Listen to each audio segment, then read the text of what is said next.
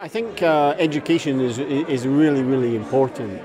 And my, my experience, uh, uh, particularly with younger students these days, in speaking to them is they kind of realize the, the world isn't quite right and they want to do something about it. They've got great ideas and a passion, and it's really inspiring actually. So, you know, the world has got problems, but I, I think the education establishment like MU has got a critical role to, to play in making sure that people are thinking, that they, they understand that they can act, and I think, you know, the undergraduates today, for example, you know, have all done something and we can inspire each other and do things. So education is underpinning all of that. It's, it's so, so important.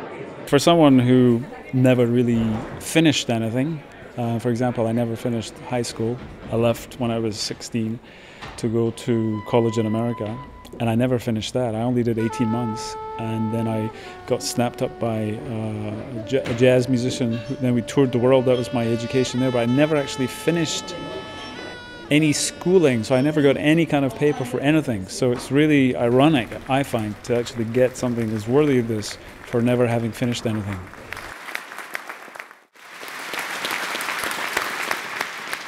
We badly wanted to use Murrayfield as the stadium, and there was a great meeting of the Scottish Rugby Union grandees, and we got slung out. So really interesting about Jarvis Bay, we were slung out of Cambridge because the Cambridge Dons wouldn't have us, so we were slung out of Murrayfield.